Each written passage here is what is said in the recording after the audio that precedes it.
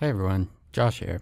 I wanted to share some more great tricks in extending articulate storylines built in animations with a quick how-to from a freebie I did a while back with some recent tweaking. This design utilizes a few different techniques, including grouping objects and applying animations to the group as a whole and each of the individual objects, using timeline triggers that initiate motion paths for content entrance and exit effects, and utilizing triggers to perform actions following an animation's completion. So let's get started. To begin, I am just going to create a simple rounded rectangle and apply design attributes that suit my liking.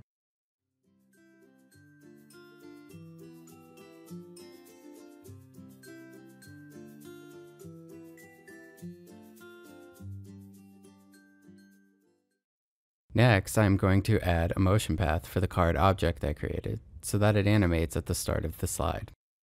I will also adjust the timing so that it comes in a little quicker than 2 seconds, but leaving the rest of the settings default. A trigger is automatically added by Storyline that moves the object along the path when the timeline starts. This will be left as is since this is the desired effect I want. In addition to the entrance path, I want the card to have an exit path, like it enters. To do this, I will select the motion path I just created and hit Ctrl C to copy the path and then Control V to paste it. Now all I have to do is edit the path options and select reverse path direction to have the object move off screen to the left. Next, I want to add a trigger to show a layer when a user clicks the card.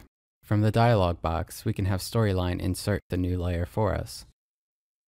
Once I am finished and click OK to add the trigger, I like to rename my layers to match the objects that link to them, such as a name of card 1 for this example, to maintain consistency of my styles, I am just going to copy and paste the base layer object to the new layer.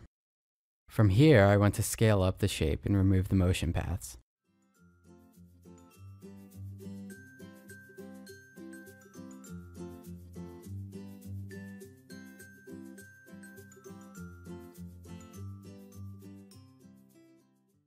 Next, I will add any design elements I want to tie up the overall look and feel, including a close button which will simply consist of a shape with 100% transparency and the letter X inside.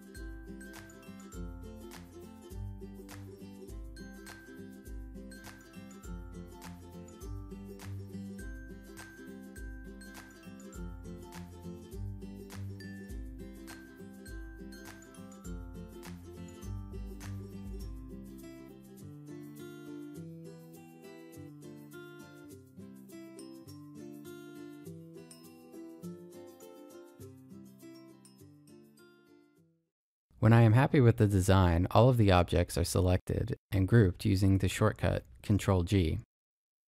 For the group, I am adding a motion path with a direction of down and reversing the direction within the path options and extending its origin distance off screen.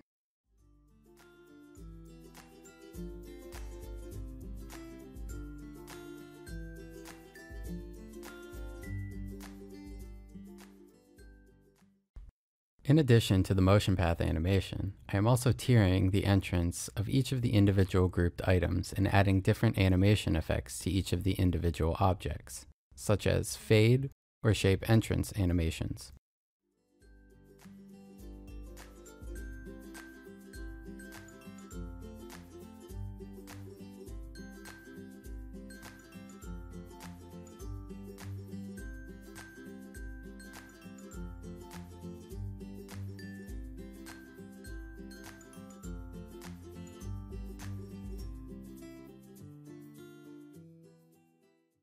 In addition to the entrance path, I want the group to have an exit path, so I will copy and paste the path and reverse its direction, just like I did with the base layer shape.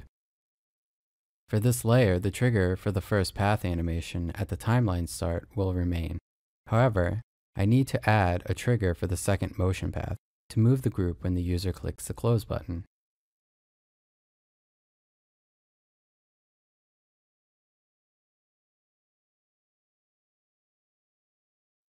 To animate our base layer object along its exit path, I will add a trigger with the move action of the base object when the layer timeline begins.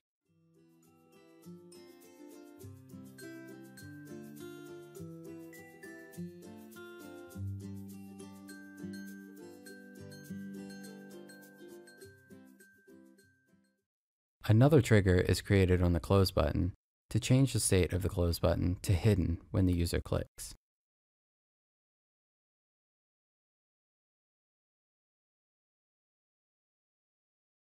Finally, a trigger is created to jump to the current slide when the group motion path completes off screen to activate the base layer object entry animation. When using this trigger, it is important to ensure the slide properties contains a reset to initial state when revisiting.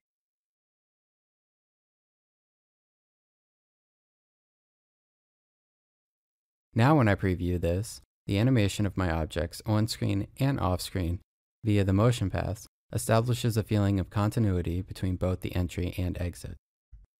The great thing about this is that it did not involve duplicating layers and extra design tweaks to accomplish the visual continuity. For more cards and reveal layers, all I need to do now is simply duplicate the original card on the base layer and adjust its animation directions based on its position on screen. As for the reveal layers, all I need to do for those is duplicate and change the visual design as desired and appropriately link base objects with the layers.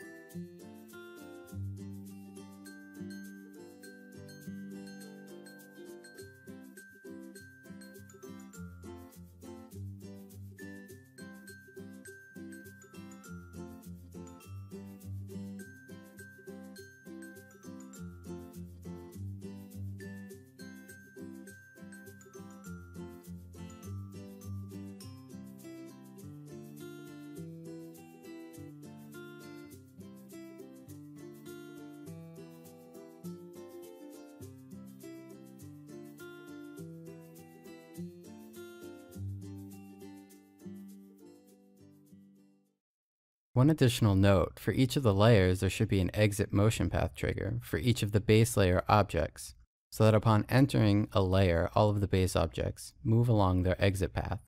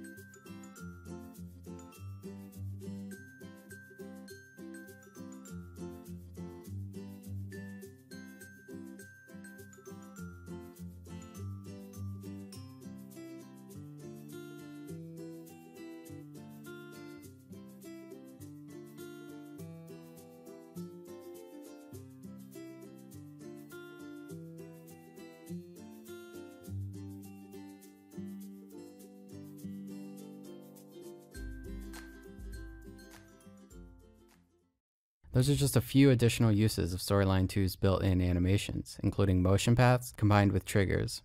I hope this tutorial provided some additional insight into many capabilities of Storyline 2 for your course development.